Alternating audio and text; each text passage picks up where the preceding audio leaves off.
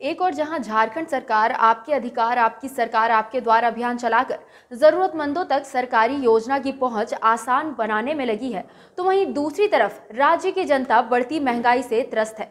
लोगों का कहना है कि सरकार द्वारा चलाया जा रहा कार्यक्रम बस एक दिखावा है। असलियत ये है कि सरकार राजनीतिक रोटी सेकने में लगी है।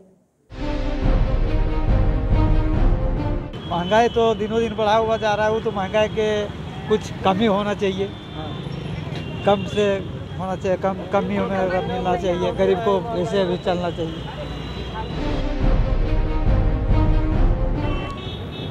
ये जो कार्यक्रम सरकार जो चला रही है, ये जनता के आँखों में धूल झोंक रही है। ये कार्यक्रम करके सरकार आपके द्वार, ये जाके अपने कमियों को छुपाना चाह रहा है।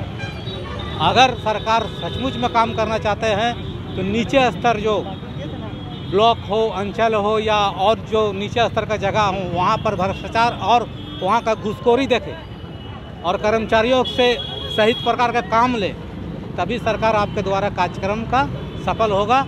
अन्यथा यह कार्यक्रम पूरा ही पूरा फ्लॉप है। हमको तो यहाँ तक कहीं नहीं दिखता है कि द्वार द्वार वो जाके मदद कर रही है। हमको तो मेरे नज़र में नहीं दिखता है। हम जहाँ देखते हैं, अभी भी वैसे ही है। पहले मतलब कांग्रेस सरकार था, कुछ भी था अभी तो जो रोज़गार की भी बात बोले तो रोज़गार तो कहाँ कुछ नहीं। अधिक से अधिक तो लोग बेरोजगार ही हैं लोग। तो क्या बोलेंगे? सरकार कहाँ मदद कर रही है? हम लोग भी स्टूडेंट हम लोग को भी पता है। तो हम लोग के साथ भी अन्याय हो रहा है गरीबों के साथ भी अन्याय हो रहा है। क्या नाम हुआ? सरकार तो द्वार द्वार तो हम लोग के पास देहात में नहीं जा रहे। कभी गरीबों को नहीं देख रहा है। देहात एरिया में इतना गरीब है कि कहना लायक नहीं है। खाने पीने के लिए बहुत लोग को लिए, खाने पीने के लिए भी नहीं मिल रहा। सरकार को ये कोशिश करना चाहिए, इनका जो प्रशासनिक हल्का है, ब्लॉक है, उसमें बड़े पैमाने पर जो करप्शन है, और सरकार इससे बचने के लिए जो है, इस तरह का योजना का वो शुरुआत किया है, एक कौशल के तहत, ताकि उसका जो राजनीतिक जो प्रभाव है ये ग्रामीण इलाकों में वो बनाने की ये कोशिश कर रहा है।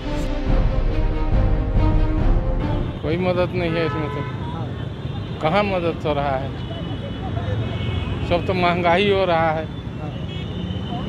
गरीब में तो कोई अधिकतर मतलब ध्यान ही नहीं है सरकार की। समाचार प्लस खबर वही जो हमने कही।